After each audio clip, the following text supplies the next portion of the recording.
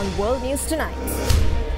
Fake threat. Despite being the most infectious variant at the moment, Omicron may not be as dangerous as it seems as the WHO breaks new ground on the properties of the strain. Tonight, the new information. Ground Zero. India, which once a COVID hub, grapples to cope a fresh fourth wave as curfews imposed in its capital Delhi to take control of the spread. Health officials tonight pleading with the residents to take precautionary measures. Fueling the unrest. Protest in Kazakhstan becomes violent as police clashes with the public in the nation's biggest city. The current government steps down due to a fuel crisis that has put the Central Asian nation in turmoil. Beijing to blossom. The games once boycotted by many prepares for the show of the year.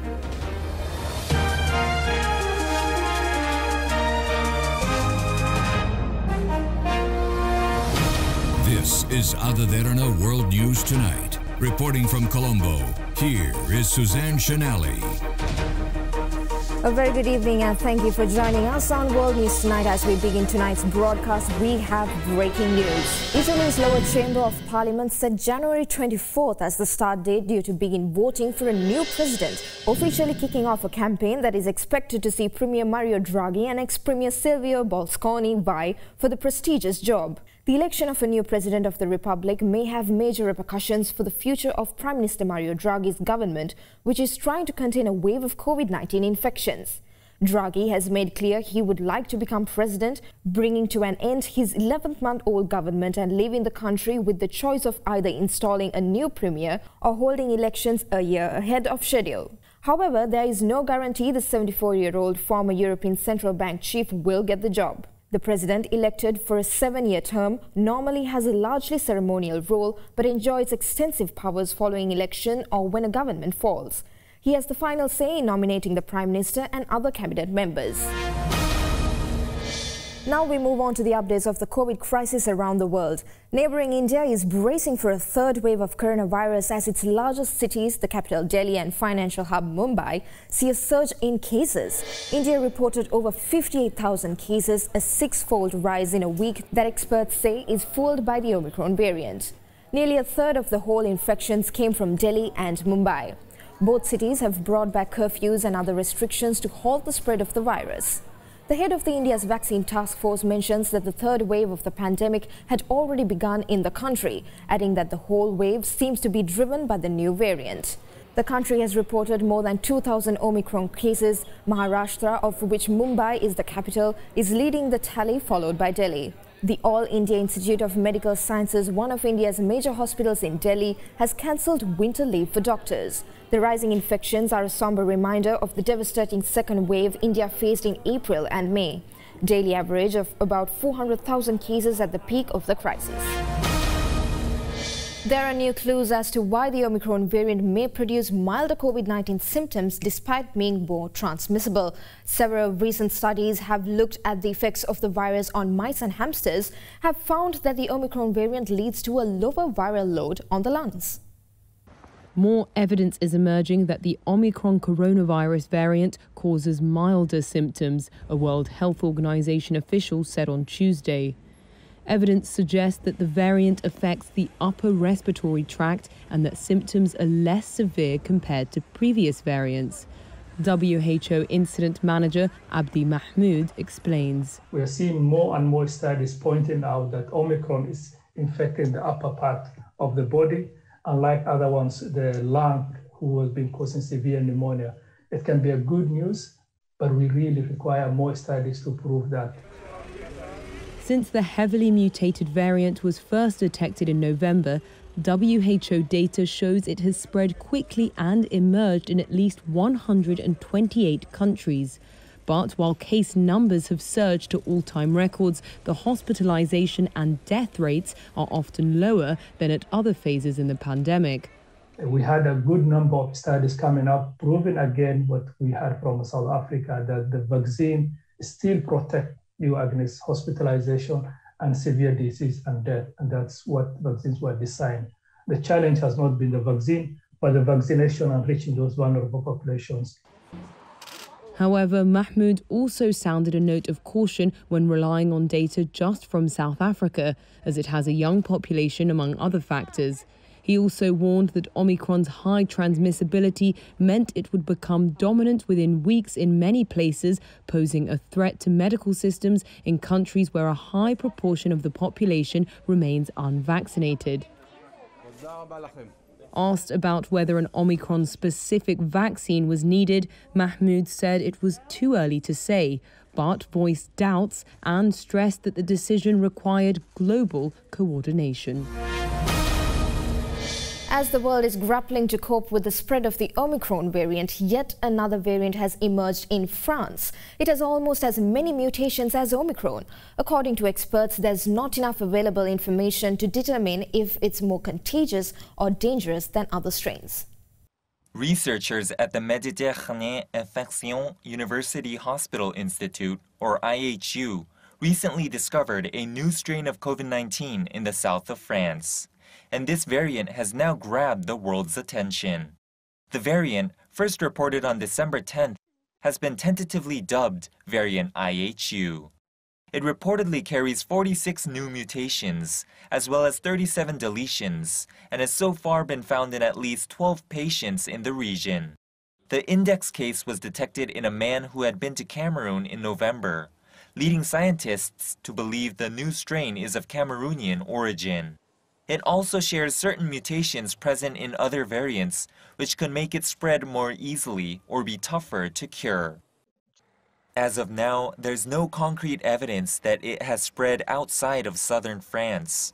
Neither are there any signs it's outcompeting the Omicron variant, which has become the dominant strain in France and several other countries worldwide. Some experts believe the new strain will struggle to outcompete Omicron, an idea pushed by Imperial College London virologist Dr. Tom Peacock, who said it, quote, actually predates Omicron. Despite several new strains cropping up over the past year, only a few were eventually found to be more contagious or lethal. Details on the new variant were posted online by IHU but have not yet been published in an academic medical journal and the World Health Organization has yet to declare it a variant of interest or concern, or give it a Greek letter name. In the United States now, daily cases are surpassing 1 million in the midst of a critical shortage of COVID tests. Meanwhile, President Biden addressed the nation in an attempt to reassure Americans amidst the surging cases. These coming weeks are going to be challenging. U.S. President Joe Biden on Tuesday tried to reassure Americans that the country could weather a record smashing surge in cases of the Omicron variant of the coronavirus. We're going to get through this. We're going to get through it together. But Biden pleaded with the country to comply with health advisories on vaccinations and masks. For God's sake, please take advantage of what's available. The president said that cases of the Omicron variant were likely to rise a day after the United States reported almost 1 million new coronavirus cases. That single day record is almost double the country's previous record of just over 500,000, set just a week ago as the infectious variant shows no sign of slowing. And as cases surge to never seen before levels, hospitalizations are rising too, most strikingly among those who remain unvaccinated. Analysis showed more than 100,000 people now hospitalized with COVID 19, up almost 50% from a week ago. Unvaccinated are taking up hospital beds and crowding emergency rooms and intensive care units. Pediatric cases are also hitting new records, and the unrelenting surge has prompted more than 3,200 schools to close their buildings this week, according to a site that tracks school disruptions. We know that our kids can be safe when in school, by the way. That's why I believe schools should remain open. Biden said schools could remain open safely if they took the proper precautions. British Prime Minister Boris Johnson said that England could withstand a surge in COVID-19 infections without shutting down the economy as Britain reported another record daily high in cases and travel industry groups have called for all remaining COVID restrictions on travellers to be removed in the latest government review. For more on this, we have Ada Derana World News special correspondent Dilini Senviratna who joins us now from London in the United Kingdom. Dilini? Yes, Shanali. With data suggesting 1 in 25 people in the UK currently have the virus, airlines say passenger testing is having no real impact. It is thought ministers are finalizing changes to guidance on COVID testing. The travel industry said compulsory testing for UK arrivals and departures had held back the sector's recovery. The Prime Minister will meet his cabinet later and urge them to back his decision not to impose any further COVID restrictions in England. The government is discussing the removal of advice that people who test positive on a lateral flow device should seek a confirmatory PCR test. Boris Johnson said he hoped the country could ride out the current wave, although he acknowledged parts of the NHS would feel temporarily overwhelmed. The government has said it continued to keep all measures under review. Currently, all travellers to the UK aged 12 and over have to show proof of a negative test, which can be a PCR or lateral test, and must be taken up to two days before departure for the UK. Back to you, Shanali. All right, thank you. That was Ada Derana World News Special Correspondent Dilini Senvi Ratna reporting from London in the UK. Let's go into short commercial break. We'll be back soon with more world news.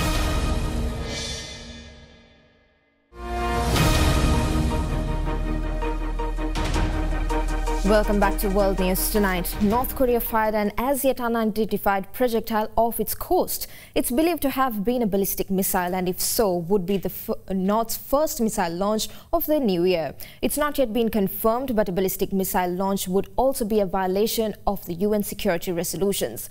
On the other hand, international organizations remain ready to provide humanitarian support to North Korea. That includes more than 8 million doses of COVID-19 vaccines. Meanwhile, the regime still claims to have zero coronavirus cases. The UN Office for the Coordination of Humanitarian Affairs says it hopes to see its staff return to North Korea as early as possible following the lifting of movement restrictions. An OCHA spokesperson said on Monday that it is crucial that international staff return to North Korea to have access to project implementation sites and initiate capacity building activities that have been stalled since 2020. UN member states have agreed not to publish their North Korea support plan due to the lack of access to new verifiable data, but the UN official noted the global body is still planning for humanitarian cooperation in the North this year in line with its global guidelines. While the UN remains in close contact with experts in the regime, the spokesperson reiterated the UN's readiness to give support whenever the situation allows. That's a similar message to the one coming from the COVAX facility on the same day. A COVAX spokesperson said that COVAX and the Global Alliance for Vaccines and Immunization are continuing their dialogue with the North to put into operation their support to Pyongyang.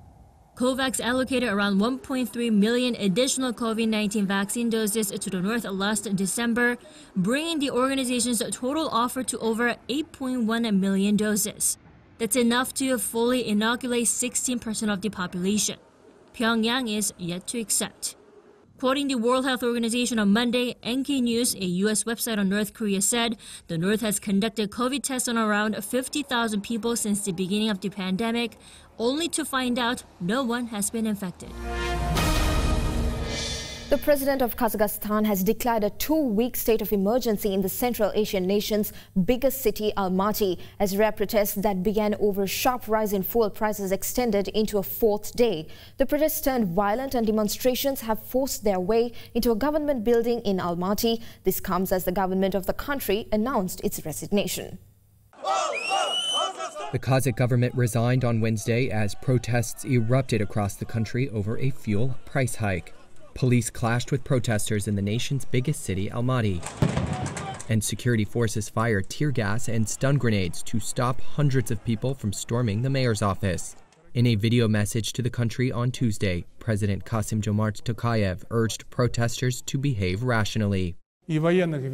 Calls to attack the government and military buildings are completely illegal. This is a crime that could be punished. The government will not fall but we want mutual trust and dialogue rather than conflict. Many Kazakhs fill their cars with liquid petroleum gas because price caps keep it cheaper than gasoline. But the government lifted those caps over the weekend, arguing that the low price was unsustainable. In response to protests, the government did a U turn and announced it was restoring the price cap to less than half the market price. But that hasn't stopped the protests.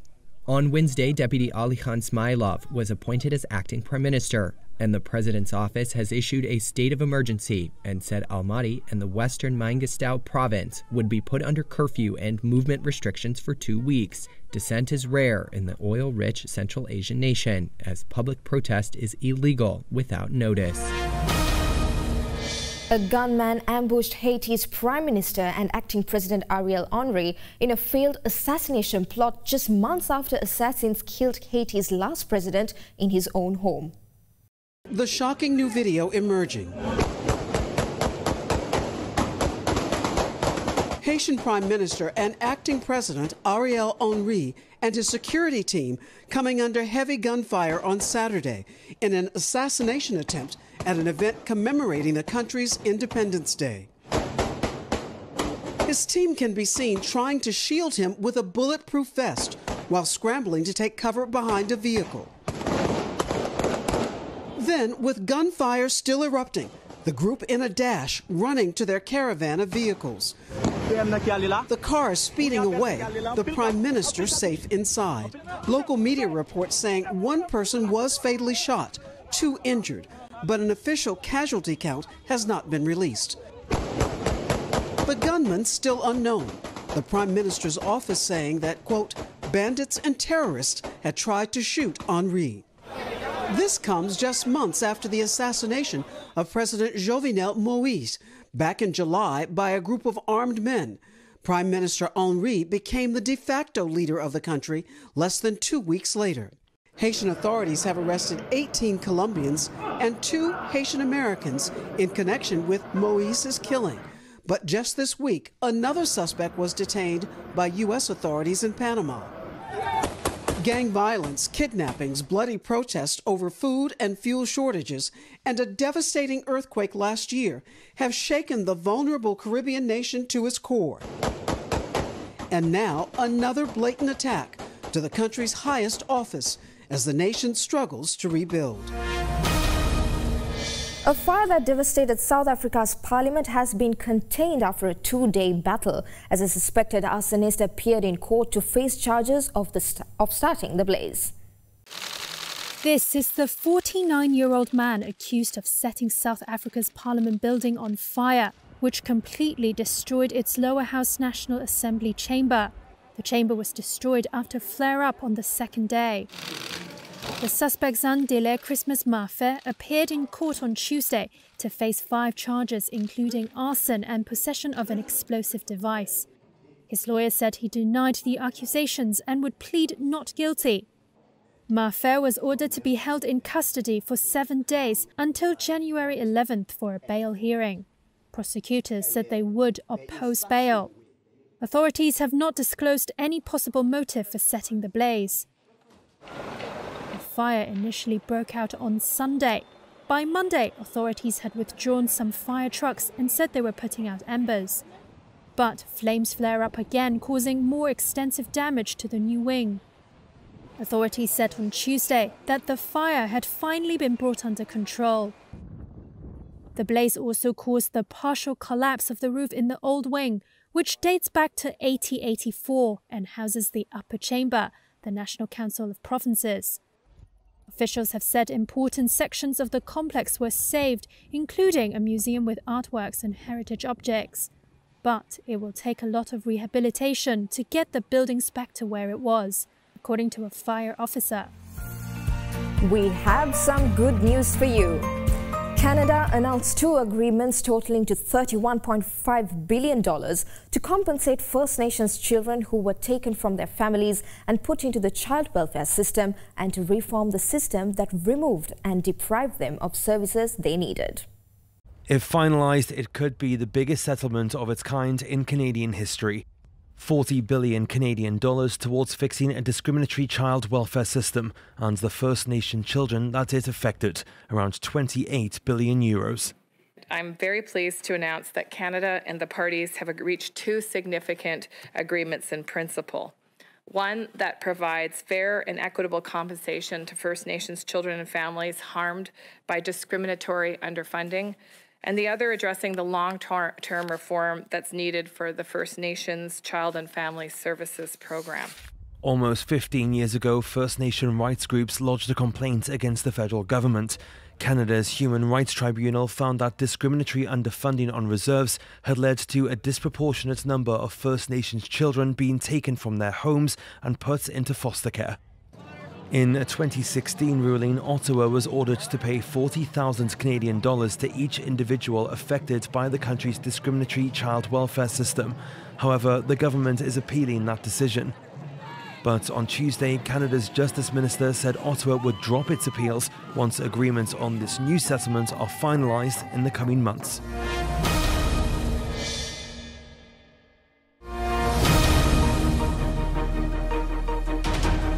Welcome back to World News Tonight. For more news, let's take you around the world in a minute.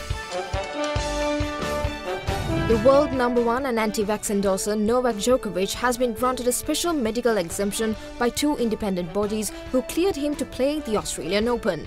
This has received mixed reactions from his competition and the general public, with many accusing him of receiving special treatment. In what many economists attribute to be a result of the pandemic, a large portion of the workforce in the US has moved away from mainstream jobs and entrepreneurial work from home endeavors. This has resulted with an eight-digit figure of job vacancies. Thousands of cars were brought to a standstill after a massive storm dropped a foot of snow, rendering roads crews ineffective and confined thousands of their cars overnight in freezing temperatures. Hyundai Motor Group saw a 19% increase in the US market from 2020. The South Korean automaker's performance in 2021 has hailed as being highly successful in the US sales division. A bluefin tuna sold for around 16.88 million yen at the annual New Year tuna auction held by Tokyo's largest fish market, marking a third consecutive year since the drop of the auction's highest bidder.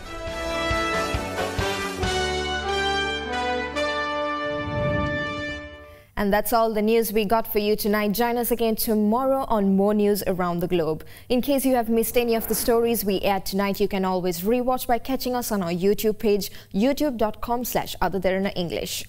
Well, despite all odds and with only 30 days to go, China is now well prepared for the 2022 Winter Olympics. We are leaving you tonight with spectacular visuals of the preparations for the Games. Take care and have a good night.